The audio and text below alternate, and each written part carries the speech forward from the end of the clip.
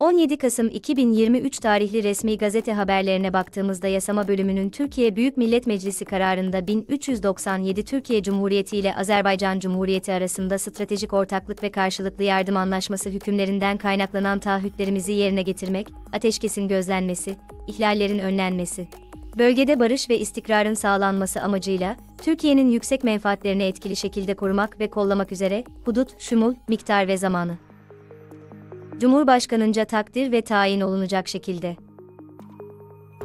Türk Silahlı Kuvvetleri'nin ortak merkezin görevlerinin ifası yönünde hareket etmek üzere yabancı ülkelere gönderilmesi.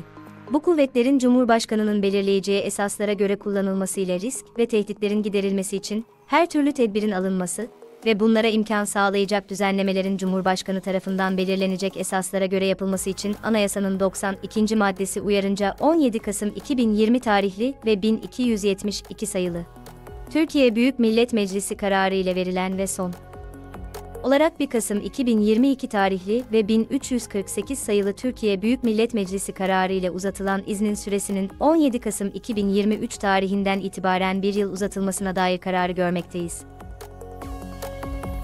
Yürütme ve İdare Bölümünün Cumhurbaşkanı kararı kısmında 2023-2024 eğitim öğretim yılında yükseköğretim kurumlarında cari hizmet maliyetlerine öğrenci katkısı olarak alınacak katkı payları ve öğrenim ücretlerinin tespitine dair kararda değişiklik yapılması hakkında kararı görmekteyiz.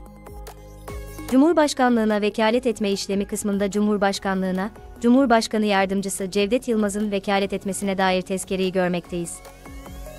Yönetmeliklerde sinema sektörünün desteklenmesi hakkında yönetmelikte değişiklik yapılmasına dair yönetmeliği.